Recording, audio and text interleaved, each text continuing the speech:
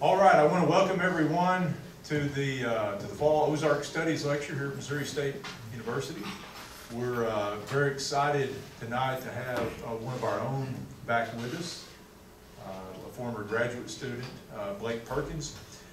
And uh, the, we have, at least now, I guess for about seven or so years, for those of you who don't know, we have a minor in Ozark Studies here at Missouri State. It's the only minor of its kind uh, in the Ozarks, and I'm pretty sure there's no no Ozark Studies minor anywhere outside of the Ozarks. Uh, Though, uh, you know, we could be surprised, Uh, but we do have a minor. We also have uh, the Ozark Studies Institute, which is now housed here in the library, and uh, puts out Ozarks Watch uh, magazine. Some of you have seen Ozarks Watch Video magazine on OPT, but we actually uh, do still have a paper magazine, uh, the Ozarks Watch magazine. And uh, we have uh, our new magazine editor is here with us, Susan Croce Kelly is, is here, uh, our uh, just brand new editor, so we're excited to see what, uh, what she does with the Ozark.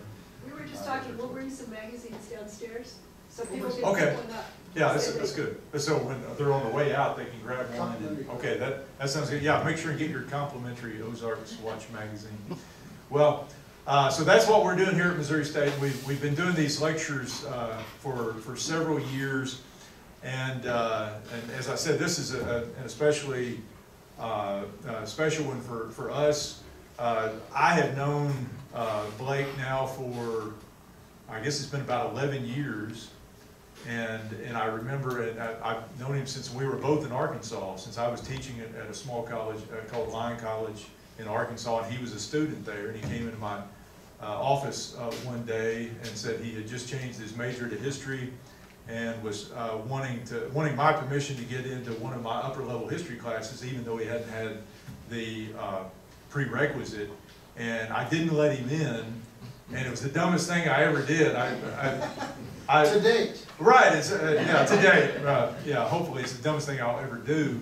Uh, but once I got him in class, I immediately recognized that he could have taught the class that I wouldn't let him into. And, uh, and we, uh, between undergraduate and graduate, uh, we uh, had about, what, 10 courses together or something. It was uh, pretty crazy. And, but Blake earned his master's degree in history here at Missouri State back in 2010 and uh, went to West Virginia University where he earned his PhD in 2014.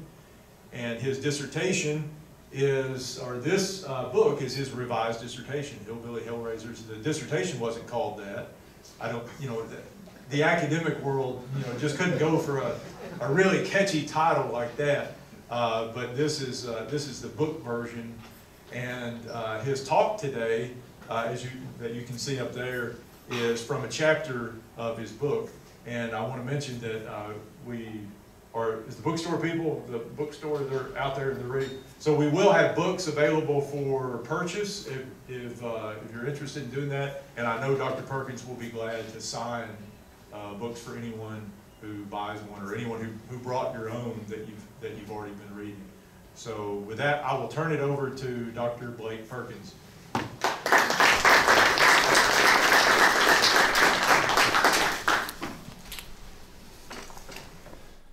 Brooks. And thanks to Tom Peters and the Ozark Studies uh, Institute for, for hosting me. It's, uh, it's an honor to be able to come back and, and share some of my work here at, uh, at Missouri State. On a cool Monday morning in March 1922, Charles Jeffrey left his home near Jamestown, Arkansas, to begin his week's duties as a federal cattle tick inspector. Jeffrey had been hired to inspect quarantined cattle and enforce local compliance with the U.S. Department of Agriculture's tick eradication program designed to eliminate Texas fever or babesiosis. En route to supervise a cattle dipping, Jeffrey met fellow inspector Lee Harper on Hutchinson Mountain around 7:30 a.m. And Harper expressed concern to Jeffrey about rumors of anti-dipping threats he had just heard while quail hunting with some friends. Despite threats he himself had recently received, Jeffrey intended to carry on with his duties. Trekking along a wooded farm road, Jeffrey was suddenly cut down by a, thunderous shotgun blast. Harper, who was slightly wounded in the right arm, begged the concealed assassin to spare him and scurried to a house nearby to report the incident. Jeffrey lay gasping for his last breaths, his, filled, his lungs filled with buckshot. Within an hour, Jeffrey was dead, and the county sheriff and a local posse soon arrived at the murder scene, bent on hunting down the assailant. By the next day, state and local law enforcement, with assistance from bloodhounds, had apprehended six suspects and continued to hunt for more. They believed tick eradication opponents in the community had organized a conspiracy to murder Jeffrey. The Jeffrey murder was a particularly horrific instance of a broader challenge to the federal tick eradication program. In our history of the tick program in the South, historian Claire Strom seeks to explain the widespread resistance from small farmers, especially those in the relatively isolated places such as the highlands, marshes, and piney woods, what she calls the few remaining outlying bastions of southern yeomen. Small farmers opposed the program, according to Strom, because it infringed on their Jeffersonian political ideals and traditional allegiance to local democracy, and because it burdened without benefit semi subsistence farmers, who she claims raised cattle largely for themselves or for local trade only and had no stake in national markets. Likewise, local historians have argued that fiercely independent Ozarkers saw the tick law as too much government interference in their lives. A closer look at Ozark smallholders and the murder of Charles Jeffrey, however, warrants a more nuanced treatment. Rather than a high statist program impo- imposed from bureaucrats in Washington, it was local and regional business elites who instigated and administered a remarkably decentralized tick eradication campaign in the name of efficient and improved agriculture. Small, less capitalized farmers who re- received few or no benefits from the program, meanwhile, resented the burdens and expense and viewed it as yet another ruse cooked up by self serving elites. Most backcountry farmers, furthermore, were in no way isolated from national or even international market forces, nor apparently did they want to be. Despite relative geographic isolation, small farmers still participated in national markets, and these market trends affected their lives in significant ways. The mast of the open range in the Ozarks was well suited for raising cattle, and many hill farmers used these resources in their entrepreneurial efforts, not simply to sustain their families, but to get ahead in a commercial economy. To borrow the words of Appalachian historian Robert Weise, economically, localism did not at all imply an anti commercial or anti market attitude. While some smallholders raised only one or two cows for strictly subsistence purposes, mostly for milk and butter, cattle represented the most valuable cash commodity for many others, even if their herds were much smaller and comprised poorer stock than those of more prosperous cattlemen. Indeed, it was their connection to national market forces, rather than their disinterest in or isolation from commercial farming, that brought, that brought their opposition to dipping laws to a boil. Although there had been defiance toward the program in, in many parts of the South since its inception in 1906, the deadliest incidents of resistance occurred amid the agricultural crisis of the early 1920s. Many small farmers had benefited from high beef prices, prices driven by increased international demand during World War I and had, accordingly, suffered from the market fallout of the post war years that sent prices spiraling to their lowest points in more than a decade. Chiefly orchestrated by Southern agribusiness and political elites, the eradication program had its origins in a congressional appropriation to the USDA in 1906. A quarantine that roughly followed the northern border of the old Confederacy, but also included Southern California, had been established at the behest of northern beef producers in 1891 to protect northern cattle from Texas fever, caused by protozoa hosted by ticks. This deadly and contagious disease, carried by southern cattle bound for slaughter and meat packing houses in the north, threatened the herds of northern and midwestern cattlemen, whose higher grade breeds were vulnerable to the fever. While native scrub cattle in the south had developed immunity to the fever, the quarantine line posed a disadvantage for the growing number of wealthier cattlemen in the south who were attempting to emulate the capital intensive Midwestern style cattle business and sought to participate in higher grade beef markets. Although there was an open season in the winter during which southern cattle could be shipped north without restrictions, the quarantine hindered southern access to the most lucrative northern markets. Cattle had to be either slaughtered in the south and then shipped out, which proved problematic since there were few meat packing houses in the region, or shipped in special quarantine marked railroad cars and slaughtered immediately when they reached their northern destinations. The extra expense and hassle cut significantly into profits, particularly for those larger southern cattlemen investing in higher quality livestock to sell in choice grade markets. But Texas fever also posed a more immediate threat to larger cattlemen attempting to raise top quality purebred stock in the first place. Just as the disease was proving deadly to cattle in the north and Midwest, the fever tick was taking its toll on high grade purebreds imported by more prosperous cattlemen in the south. These well to do livestock growers, their political representatives, and the scientific experts promoting their interests at agricultural experiment stations and the, U- and the USDA were the key figures in the establishment of the tick program in 1906. Assuming that tick eradication would be welcomed as a progressive measure, the USDA initially embarked on a voluntary program. The USDA's Bureau of Animal Industry worked closely with state experiment stations and with county governments, offering matching funds for voluntary programs and leaving the planning and administration mostly to local officials. The BAI and its supporters soon found, however, that farmers in only a few locales were willing to join their effort, and those tended to be the like minded cattlemen in more prosperous agricultural areas, those who, not surprisingly, stood to gain the most from, the tick, eradic- from tick eradication. In Arkansas, eradication began in the northern part of the state, with special interest given to the relatively prosperous counties of the Springfield Plain subregion of the Ozarks. Washington and Benton counties, the former the home of the state's flagship university, had long set themselves apart from the rest of the rugged Ozarks as a progressive agricultural center. These counties were at the forefront of efforts to establish an improved cattle industry. Generally better off farmers there heeded the suggestions of agricultural scientists at the nearby Agricultural Experiment Station at the University of Arkansas, who claimed that in no other state is there greater need of improvement and greater prospective profits from the importation of purebred beef breeds. Progressive farmers and their cattle growers associations in those counties answered the call.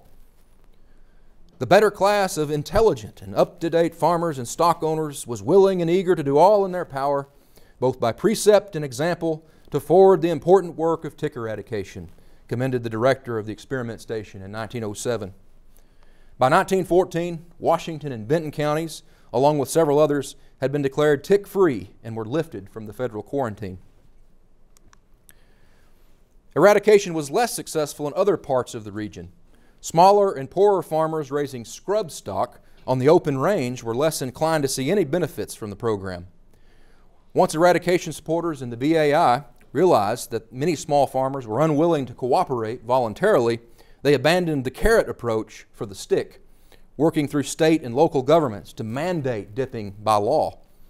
Some historians have viewed the conflict over tick eradication as part of a broader dispute between progressives and traditionalists.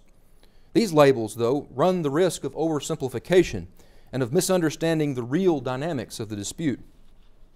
As the recent works of historians such as Charles Postel and Elizabeth Sanders have shown, Small farmers, the so called traditionalists in many accounts, often stood among the most determined progressive champions of government supported educational advancements and scientific farming improvements during the late 19th and early 20th centuries. Small farmers in the Ozarks objected not so much to government's expanded role in rural economics and education, but more to how those with the clout pulled the strings and shaped the designs of federal programs for their own ends. While most dipping opponents merely complained or simply refused to dip their cattle until they were fined or had their cattle confiscated, which is what's going on in this newspaper ad here, others vented their anger more forcefully. Some angry farmers in Izard County destroyed dipping vats with dynamite at Guion and Lunenburg in 1912. Although no one was ever charged, the tick inspector at Lunenburg reported that he had been chased by about 25 night riders and barely escaped their wrath. Such intimidation of inspectors and destruction of dipping vats was repeated on numerous occasions throughout the South.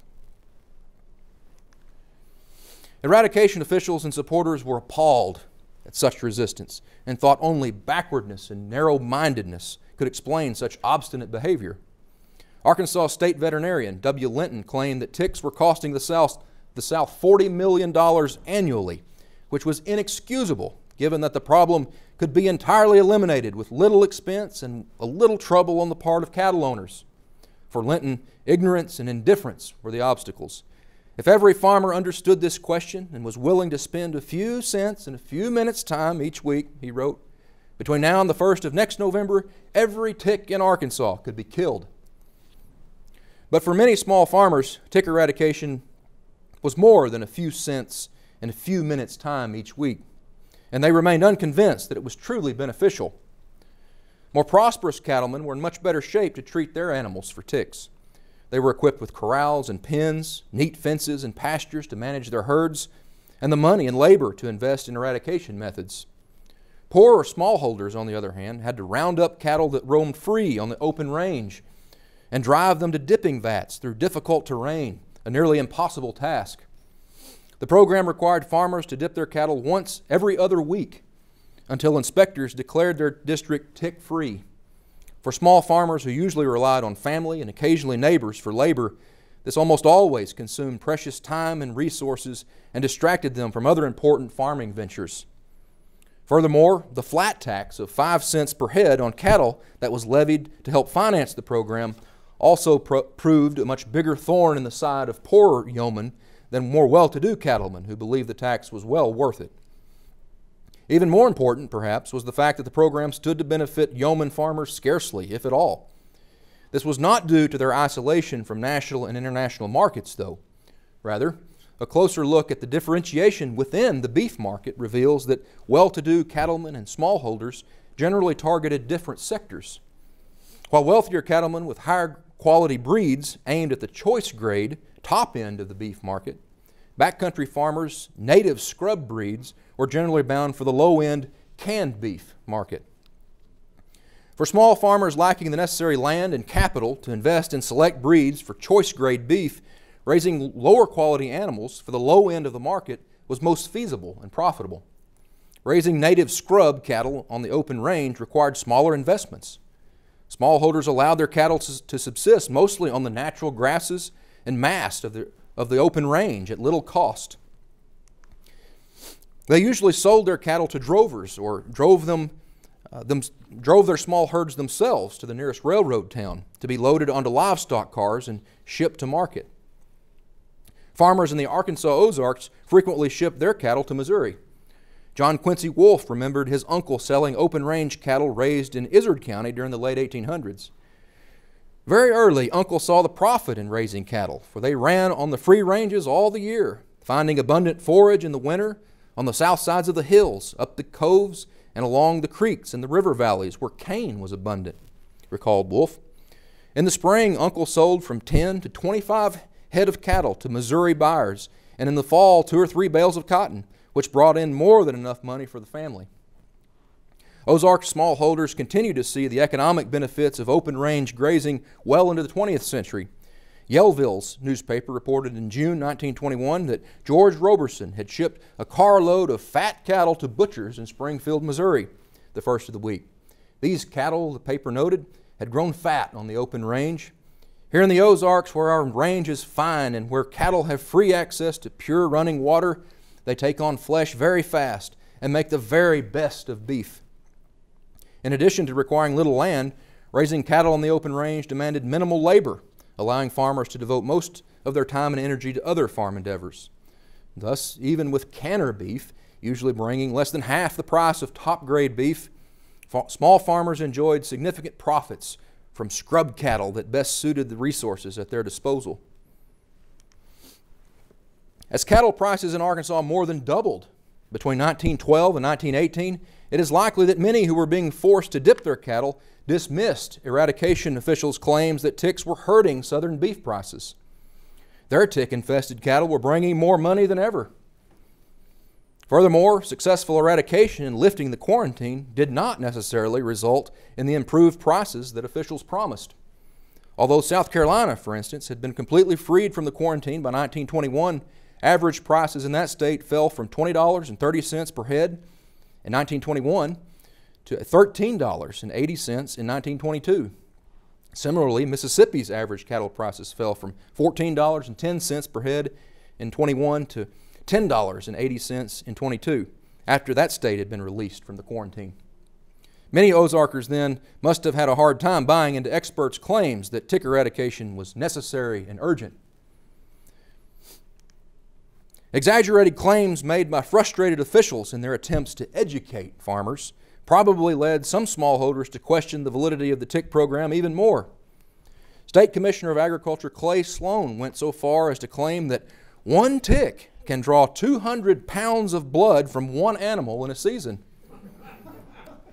The editor of the Batesville Guard, Independence County's leading newspaper, who supported the tick program, was utterly disgusted at such a damaging statement. Why, the dread blooded, uh, the dreaded blood sucking vampires of India, or the gorgeously and most stupendously advertised blood sweating behemoth of olden circus fame, would have no odds on one of the hideous tick monsters with a capacity of a pound of blood a day, he retorted. It is just such freak statements which have caused so much ridicule and opposition to an otherwise intelligent campaign of education. In addition, small farmers' suspicions about the program surely rose as it became obvious that tick eradication was designed to benefit more prosperous cattlemen's other agendas for an improved agricultural industry.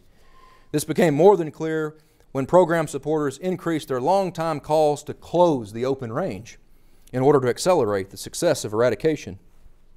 The director of the Arkansas Experiment Station pointed to the open range as the main factor in propagating and distributing the tick, arguing that were a general herd law in force, the tick question would become, if not a simple one, at any rate a much less difficult one than it is at present. Officials advocating to close the open range undoubtedly struck a sensitive nerve in small farmers who counted on the free range for a vital source of farm income. Closing the range would likely mean running many of them out of the cattle business altogether. A few disgruntled Ozarkers took their grievances over the tick program into the courts in hopes of redress.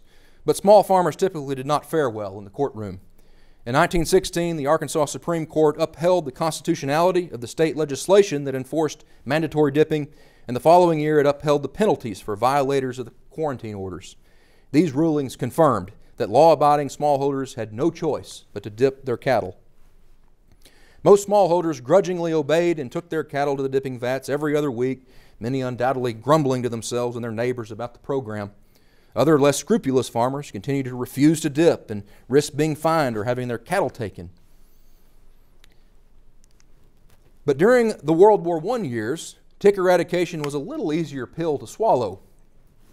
They still resented the difficulties of rounding up their cattle and paying the dipping tax for no apparent benefit, but record cattle prices produced uh, during those years likely helped offset the hassle and expense. Although Southern newspapers devoted most of their attention to the great surge in cotton prices during the war years, the increased international demand for nearly all American farm products drove other prices, including beef, to unprecedented levels. Whereas the annual average of prices Arkansas cattle farmers received fluctuated around $3.5 per 100 pounds between 1909 and 1912, Prices rose to a three year average about, of about $4.50 between 1913 and 15, climbed to $4.90 in 1916, and then shot up to $6.40 in 1917, peaking at an annual average of $7 in 1918. In May 1918, average prices in Arkansas hit a whopping 8, $8 per 100 pounds, a level that would not be matched again until 1942. Such an increase in cattle values did not go unnoticed. In an editorial on November the 8th, 1916, the Batesville Guard sought to draw its readers' attention to the tremendous rise in livestock prices.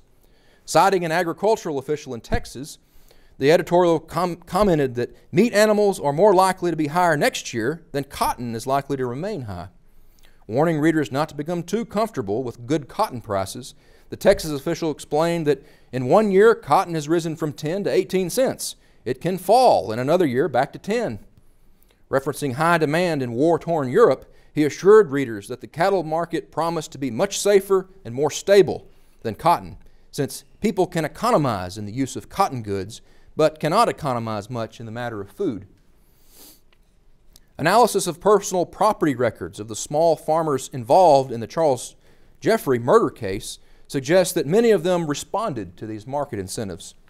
Although most lacked significant capital, many found ways to seize the opportunity. Many who lacked the money to greatly expand their small farm operations still enlarged their herds when possible by buying a few head from neighbors when they had extra cash or by keeping some of the heifers or female calves from natural reproduction to add to the next year's stock of breeding cows. Even for those who did not expand their herds, the high prices they received from selling each season's naturally produced calves put more money in their pockets than most had ever imagined before the war. But while smallholders enjoyed the record prices of the war years, they also suffered from the agricultural market crisis that ensued when high demand wore off after the war. In Arkansas, the prices cattle farmers received per 100 pounds fell from the $8 peak in May 1918 to $5.80 by the end of 1919. At the end of 1920, prices had fallen to $4.40 per 100 pounds, plummeting to a mere $3.20 by December 1921. In the words of historian Gilbert Fite, farmers were not only discouraged over low prices, they were downright angry. It is important to situate the escalation of violent resistance to tick eradication within the context of post war agricultural panic, rather than just explaining it away as a simple continuation of rural Jeffersonian ideology and inborn resentment toward federal government's encroachment upon local rights. While small farmers may have been able to endure tick eradication amid the high prices of the war years, the post war beef market fallout restored the sharper than ever pains of cattle dipping pains that some folks were evidently no longer willing to tolerate. To compound the problem of falling prices, eradication officials in Arkansas decided to stiffen regulations. New regulatory revisions went into effect in March 1919 that outright prohibited farmers from selling any cattle from a quarantine district that had not been completely declared tick free and issued a signed certificate by a federal inspector. Now, no longer could farmers even sell cattle simply marked quarantine, since they had to possess an inspector's certificate to sell them at all. With farmers' ability to sell cattle greatly impeded and with prices plunging in January 1922 to the lowest they had been since 1911, panic spawned a surge in violence. It was in this atmosphere of boiling tempers that an unknown assassin gunned down Charles Jeffrey on March the 20th, 1922 resulting in the eventual arrest of nine suspected conspirators. Questioning revealed that these suspects and about 30 other men had attended a meeting at one suspect's farm after church on the Sunday afternoon prior to the murder, where officials believed the dipping opponents had plotted to kill Jeffrey. The six suspects initially arrested were held at the county jail for a hearing before Justice of the Peace J.A. Holmes to commence on March the 24th. Meanwhile, Law officials and their bloodhounds searched for co conspirators and reported that unknown murder accomplices had been attempting to throw the hounds off the trail by firing the woods near the murder scene. Like the wild rumors of communist conspiracy that circulated during Arkansas's infamous Elaine race riot of 1919, Red Scare hysteria found another outlet in the press's coverage of rural whites' anti dipping defiance. Just as Georgia's state veterinarian had condemned what he called a Bolshevik contingent for dynamiting dipping vats in his state in the summer of 1917, the Arkansas Democrat newspaper in Little Rock linked dipping opposition to socialist anarchy, claiming that one of the suspects, James McGee, was a socialist leader in his section. There's good reason to speculate that McGee may have supported socialist politics, as many others in the region did. Uh, sometime after 1910, McGee and his family had come to Hutchinson Mountain from Kiowa County, Oklahoma, a well known stronghold of agrarian socialism. Moreover, the Socialist Party had been very active in Independence County, Arkansas, especially between 1908 and 1912, when it ran a full slate in each election. Under the leadership of the populist Farmers Union member W.P. Datherow, the local party organization sought to, to appeal especially to poor farmers. Socialists in the Western South, especially the Working Class Union, headquartered in Van Buren, Arkansas, which claimed as many as 35,000 Oklahoma and Arkansas farmers among its membership, were among the most aggressive opponents of the dipping mandate in their broader stand against the farmer who farms the farmer. The 1920 election returns, however, reveal that if McGee was a socialist organizer, he had yet to win over very many votes for his party on Hutchinson Mountain. Of the 27 votes cast in his township in the presidential election, only four went to socialist Eugene Debs, while one of 26 votes went to the socialist gubernatorial candidate, Sam Boozler. Instead, most of the township voted Republican. But this in itself might have been an expression of political protest against the Arkansas and local political establishment in a solidly Democratic county. The stigma of anarchy attached to dipping opposition could be seen clearly in the strategies of both the prosecution and the defense in the hearing on March the 24th and 25th. The prosecution set out to show that the angry dipping opponents had called a secret meeting to organize Jeffrey's assassination as an act of lawless rebellion. Defense attorney Earl Casey, who was fully aware of the incriminating image, sought to portray the suspects not as dipping opponents, but as upright citizens who were simply confused about the technicalities of the law. Casey argued that their tick meeting was not a secret gathering of raging dipping opponents, but rather a gathering of law abiding men discussing and informing one another about the dipping question. The prosecution suggested that dipping opponents had paid local riffraff Paul Curtis to do the shooting. And that's him up right there. Bloodhounds had led, law, had led lawmen to the home of fellow suspect Aaron Struthers, where Curtis admitted he had stayed the night before the shooting. And that's Struthers up there at the top. Curtis had earned a reputation as a lawless character. In 1915, he had pleaded guilty on charges of disturbing religious services. He was also sentenced in 1916 to a year behind bars for stealing two mules. Even more important, only months before Jeffrey's killing, Curtis had also been indicted for another, in another murder case, though he was acquitted for lack of evidence. Curtis, a sharecropper who lived with his elderly mother and had no property of his own, also testified that he had recently been looking to hire himself out as a farm laborer with no success. The prosecution argued that Curtis, whose boots matched tracks found near the murder scene, must have taken the cash at the Sunday tick meeting and then shot Jeffrey in cold blood the next morning. Although Justice Holmes was convinced enough to hold the defendants without bail for a grand jury, the prosecution got very little help from tight lipped witnesses. The Arkansas Democrat reported that most of those placed on the stand by the state made poor witnesses, plainly showing signs of fear and lapses of memory. Witnesses, most of whom admitted that they had attended the tick meeting, usually kept their statements brief and vague, showing a clear reluctance to say anything that might implicate someone. This only bolstered the prosecution's certainty that some sort of an organized murder plot had been schemed, but it also frustrated efforts to pin down hard evidence to convict the suspects beyond a reasonable doubt. For the defense, tight lipped witnesses were a blessing, especially since Attorney Casey was unsuccessful in his attempt to draw attention away from the fact that most of the men at the meeting were dipping opponents. When questioned by the prosecution about their opposition, the defendants and witnesses who attended the meeting tried to elude the issue by stating that they were law abiding citizens.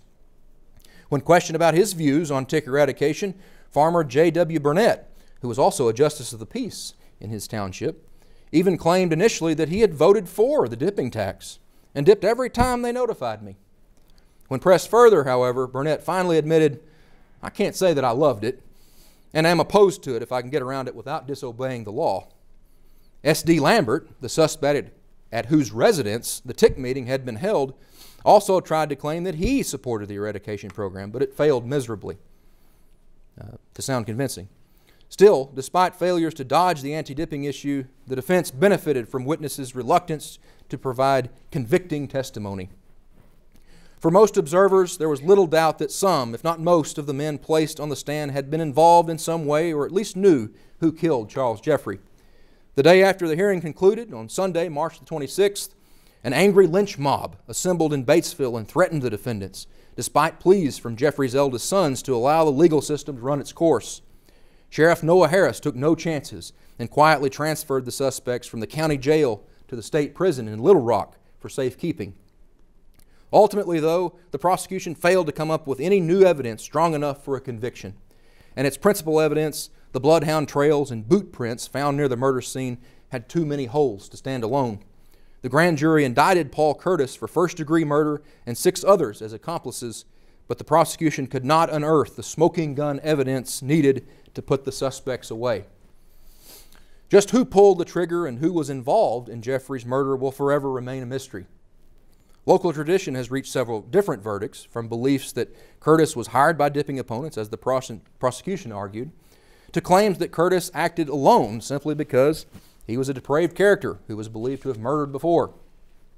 Others offered completely different explanations, such as one that said the dipping altercation had only escalated a deeper grudge between one of the suspects and Charles Jeffrey over a sexual affair rumor. Still others attributed the murder to simple jealousy over Je- Jeffrey's coveted federal inspector position. According to Jeffrey family lore, Curtis eventually confessed to the shooting years later on his deathbed and asked for Jeffrey's widow to beg for her forgiveness. But what is not disputable is the fact that the murder occurred amid passionate resentment toward mandatory tick eradication during desperate times for small farmers in the Ozarks. Even as the jailed murder suspects awaited their trial, violent resistance persisted in Independence County. Three days after the murder, the inspector at Union Hill, located about 15 miles southeast of Jeffrey's district, reported that his own barn had been burned to the ground by night riders. So down here, uh, let's see, there's Jamestown. This is where Jeffrey was from. So this is part of the county we're talking about.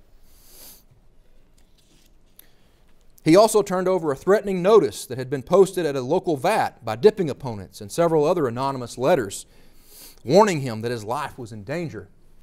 Fearing for their lives, all federal tick inspectors in the mountains of Independence County temporarily resigned their posts, and the county supervisors suspended dipping in the area until federal marshals could arrive to quell the violence. But before the nine marshals arrived to restore order, more violence erupted. On April the 2nd, a few days after another dipping vat had been destroyed, a band of about 20 night riders set fire to the barn of a well to do farmer, the brother of a prominent local merchant, and a vocal ticker eradication supporter, Dave Wyatt, in the Rosie community. Although a night watchman and several alarmed neighbors were able to fire off about 30 shots at the fleeing bandits, only one horse was apprehended. 48 hours later, the night riders struck again. This time, Wyatt and his brothers discovered the intruders before they could damage any property and unloaded a barrage of gunfire in their direction as they fled. One vigilante appeared to have been hit, but was rescued by a fellow night rider before Wyatt and his men could capture him.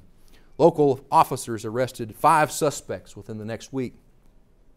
The initial presence of federal marshals slowed violence considerably, but it did not end it entirely. It seems that many dipping opponents who had previously formed larger bands of night riders were no longer willing to risk being shot up by federal marshals. Ten days after the last encounter at the Wyatt farm, another tick eradication supporter in the Rosie community, Ira Castleberry, had his property targeted by what appeared to be a lone marauder. A federal marshal, accompanied by Castleberry and Wyatt, discovered the bandit slipping through some bushes on his way to set fire to Castleberry, Castleberry's barn. They opened fire, but he escaped. And a lone firebug returned to Dave Wyatt's farm several days later, the sixth attempt to destroy his large barn.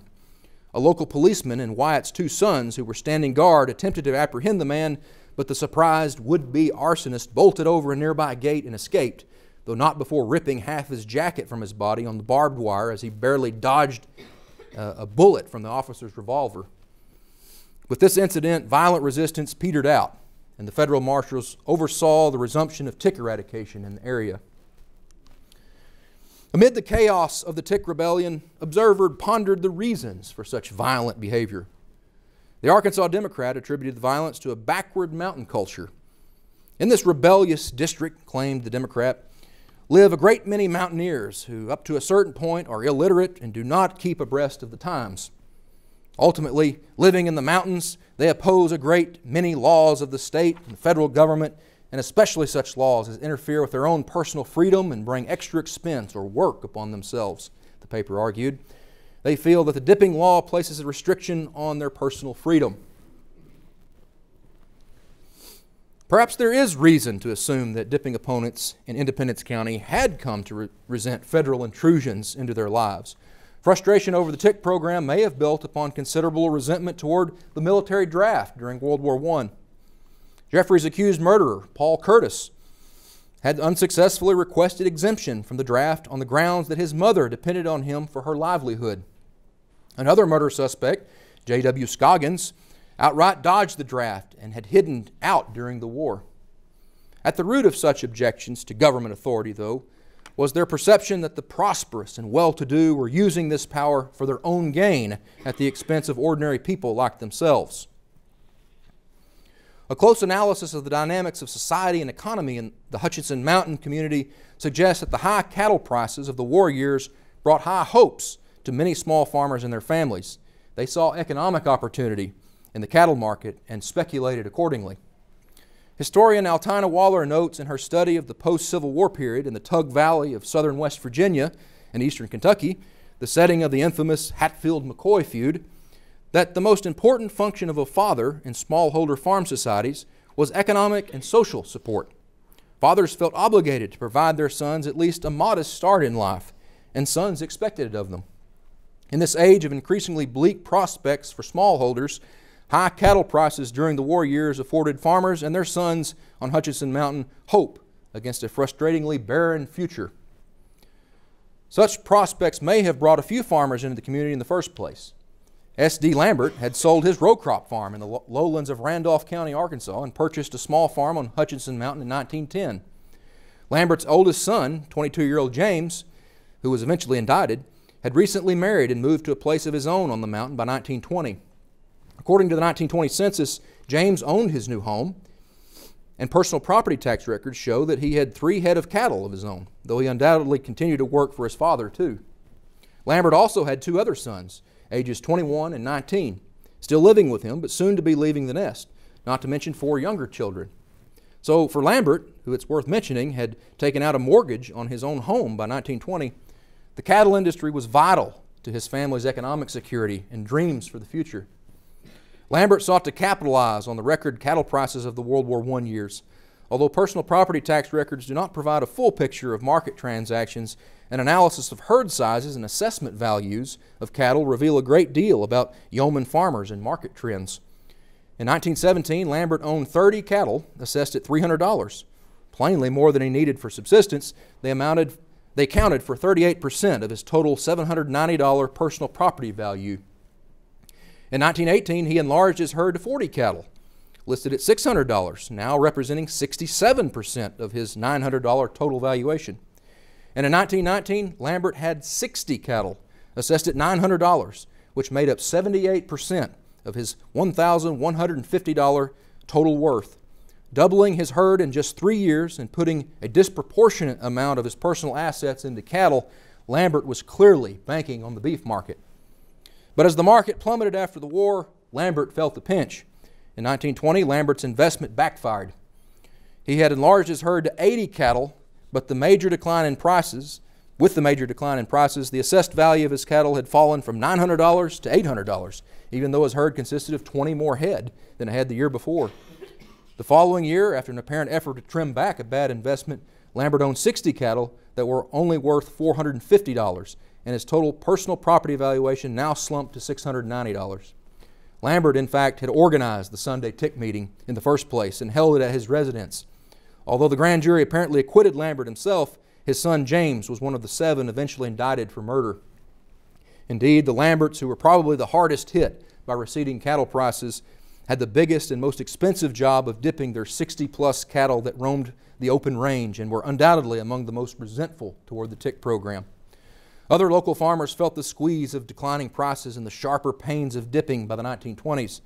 C.W. Embry, who was arrested but not indicted by the grand jury, attempted to improve his economic prospects by investing in cattle but came into the game too late for it to pay off. In all likelihood, poorer farmers like Embry tried to invest their meager resources in cattle when the market slumped and cattle could be purchased a little more cheaply in 1920 and 21, expecting that the market would soon rebound. Embry, a poor farm laborer with no personal property at all to assess in 1917 or 18, appears to have saved some of his wages and bought his first three cattle worth $45 in 1919. He increased his holdings to 10 cattle in 1920, but more than tripling his herd, only a little more than doubled his cattle value to $100. Tax records from 1921 suggest that he had stopped investing in cattle, but his 10 head were now assessed at only $70. For disaffected farmers, there was a great deal to resent about Charles Jeffrey. The owner of two farms in the area, Jeffrey, while apparently never ex- expanding the size of his own livestock herd, must have enjoyed the unprecedented prices he got for his calves during the war years. But the pressure of falling beef prices after the war did not affect him like it did his poorer neighbors, who depended on cattle for an essential part of their family's income. In addition to his farms, Jeffrey owned a blacksmith shop and a sawmill, and he held a federal contract to carry the mail for the U.S. Postal Service. During the war, Jeffrey had also obtained a lucrative government contract to provide lumber for the U.S. war effort. Ironically, versions of local tradition say that Jeffrey's initial opposition to, the cattle, dip, to cattle dipping had been widely known throughout the area. Jeffrey's opinion on the matter changed abruptly, however, when the county's tick eradication supervisor, W.H. Lendreth, offered him a salaried position as an inspector in his locale.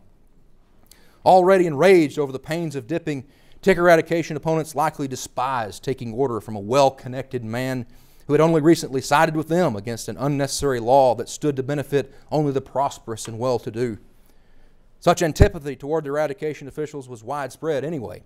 The Arkansas Democrat noted that one of the public arguments made by those who oppose and fight against the dipping law as, is that it has gotten up to give a select few good paying jobs.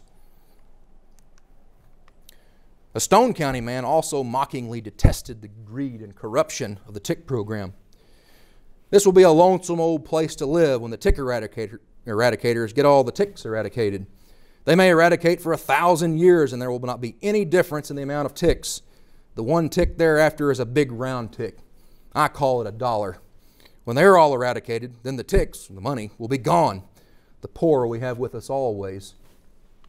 Resentment then must have been especially strong toward Jeffrey, the man after the ticks in their rural community, and this truly made him a walking bullseye. The myth of a distinct culture of feuding and violence in the southern mountains has been largely laid to rest by historians. Vigilantism, however, has long been part of the fabric of rural America. Given the circumstances of the Hutchinson Mountain community in the early 1920s, the presence of vigilante justice is not surprising. As historian Altina Waller has observed in the Hatfield McCoy affair, Southern mountaineers who had previously been almost exceptionally apt to take their grievances into the courtrooms might decide to take extra legal measures when they felt alienated from the legal system and feared that justice would not prevail. For small farmers in the Ozarks, the legal system appeared rigged against important aspects of their lives. They seem to have felt justified in resisting dipping laws by extra legal means as a necessary fight against the well to do, selfish interests who were denying their rights to participate on even ground in an agricultural market and undermining their quest for a more democratic political economy. Examining the changes wrought in the community during the 1920s after federal force overpowered dipping resistance leaves little reason to wonder why so much emotion surrounded the hopes of cattle farming and the obstacles of mandatory tick eradication. Efforts to eradicate ticks continued after 1922, but the prices that Arkansas cattle farmers received continued to fall even lower, bottoming out at $2.80 per 100 pounds in October 1924. Prices gradually rebounded in the final years of the decade, but just in time to be sapped by the Great Depression and long after many young farmers had fled the economically distressed community. The 1920s was a period of major population exodus. Small farmers were typically pulled by urban opportunities and pushed by agricultural crisis.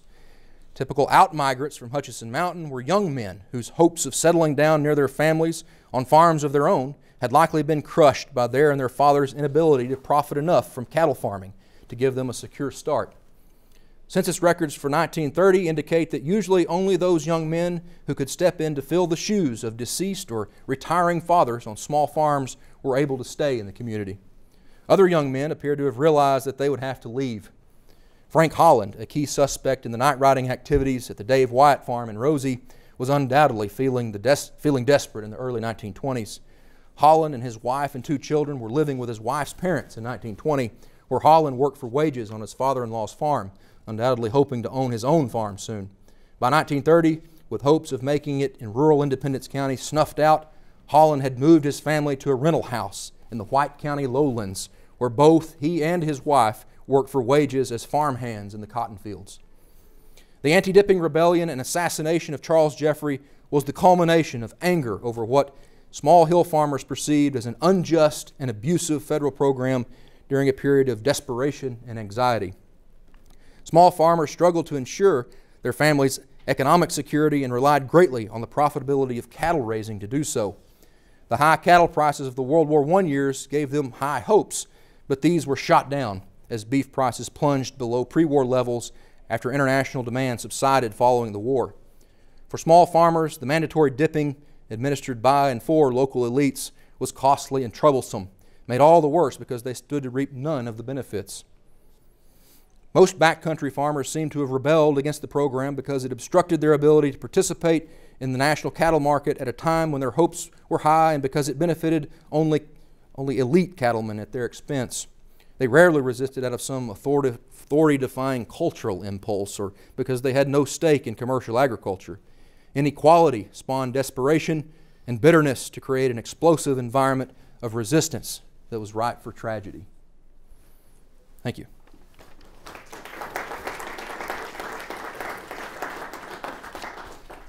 I assume we have some quick time for questions.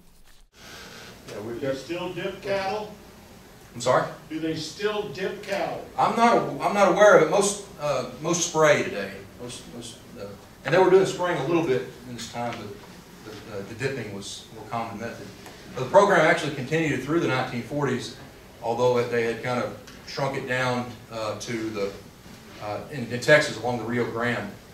Uh, so um, there, there's actually a book out there um, recently published uh, that looks at not just this, but several other kind of scientific programs like this that, that uh, were aimed to, you know, uh, deal with various agricultural, environmental factors. And they, and they argue that it actually was a, a rather a success, at least for eliminating this particular disease, the babesiosis.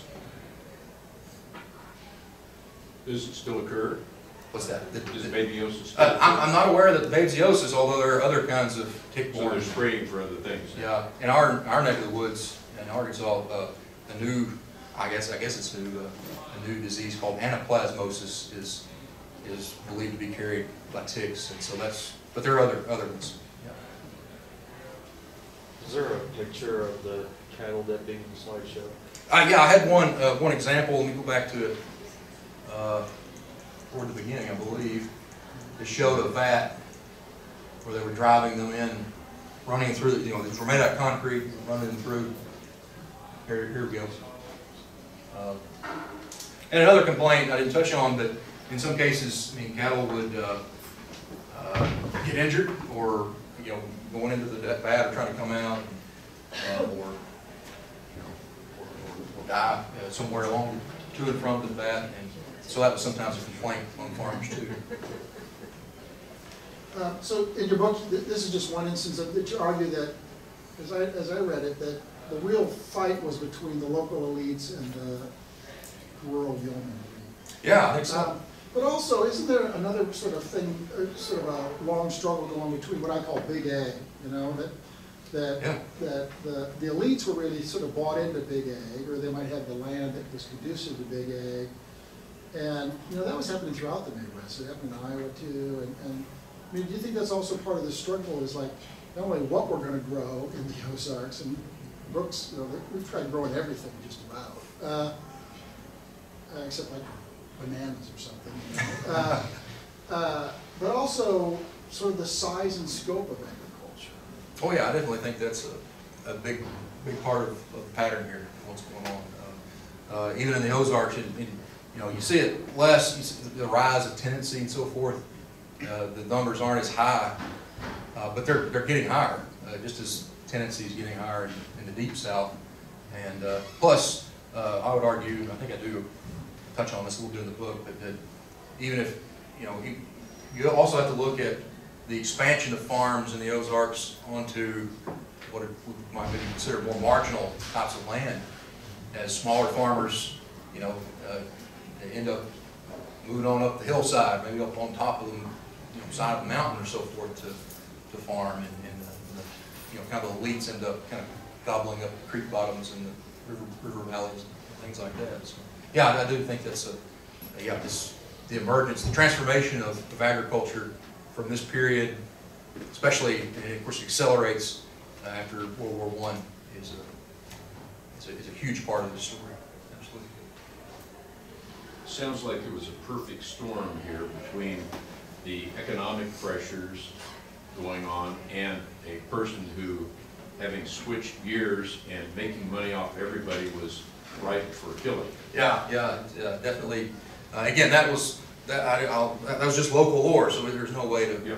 to pin down for sure that, you know, he was an outspoken, uh, critic of the program before, but, I mean, it sounds fairly convincing that he might have been. I think you got a hand up here first. Yeah, was, uh, did it be harmful to cattle at all, like if they drank the chemicals or anything? Uh, you know, I, I don't know that they would drink, drink the stuff, uh, but yeah, I mean, uh, there, there were, again, there were some complaints about things like that, of having, you know, getting, getting the cows back home and some of them dying, whether from, you know, you know, the unknowns there, from the solution itself or from maybe getting overheated on, on the trip back to the farm or, or whatever, but, uh, yeah, I mean, uh, there are some of these, the remains of these old vats still around in different places and, I know the uh, Arkansas Historic Preservation Program has done some, have uh, kind of gotten archaeologists out there to document some of these sites.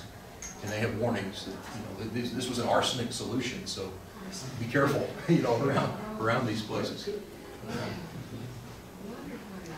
I had a similar question about the chemicals in the dip, were they absorbed into the beef? Or there's an issue with humans absorbing this stuff?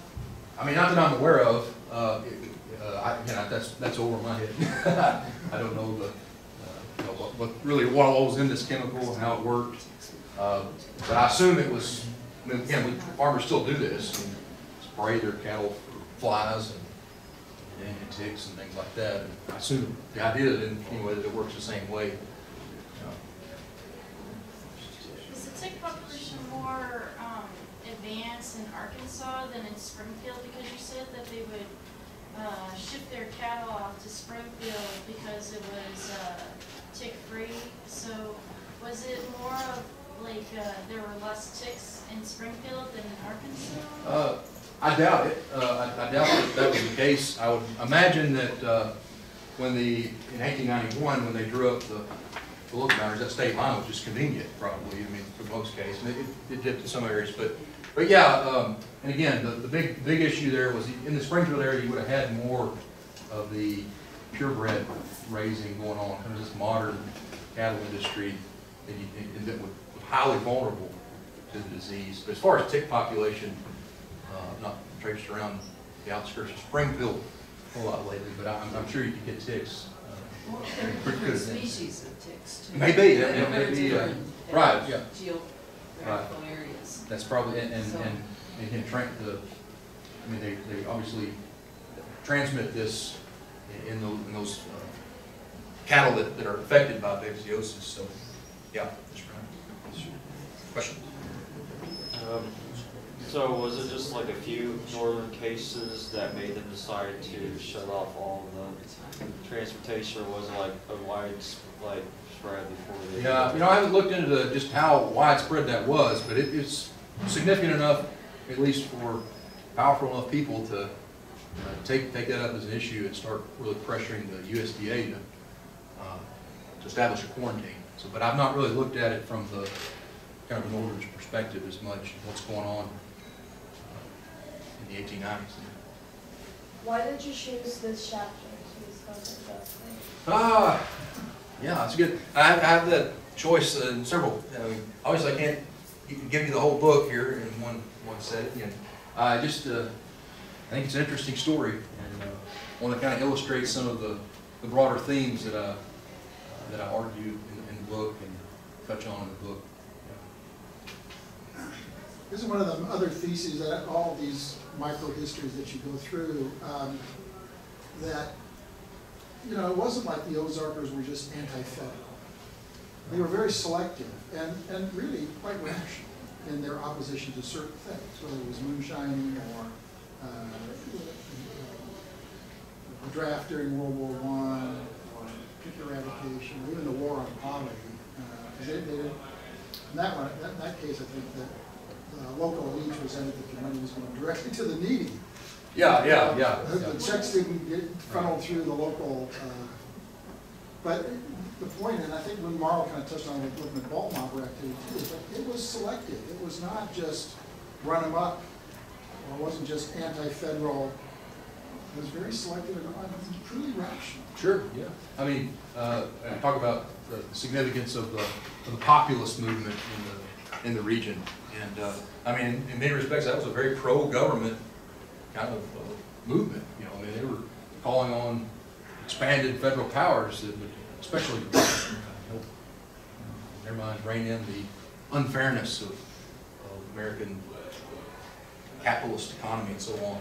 So, yeah, It's interesting, though, it seems like a lot of times when it came to violence, it was personal. It was even, you know, the ball number. I mean, it was, it was a combination of frustration, anger, and I never liked that guy in the first place. Yeah, yeah.